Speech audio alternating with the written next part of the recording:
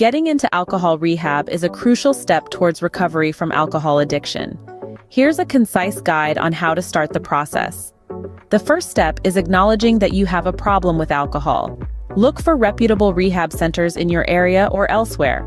Check your insurance coverage to see if it includes rehab services. Contact the chosen rehab facility to schedule an assessment or intake appointment. Depending on your level of addiction, a medical detox may be required. Choose between inpatient or outpatient rehab. Complete the admissions paperwork. Pack essential items for your stay in rehab. Inform your loved ones about your decision to enter rehab. Commit to the treatment plan and actively participate in therapy. Upon completing the rehab program, continue with aftercare services. Recovery is an ongoing process. Seek help if you ever feel tempted to relapse. Remember, you're not alone on this journey. With the right support and determination, recovery is possible. Does someone you love suffer from drug addiction?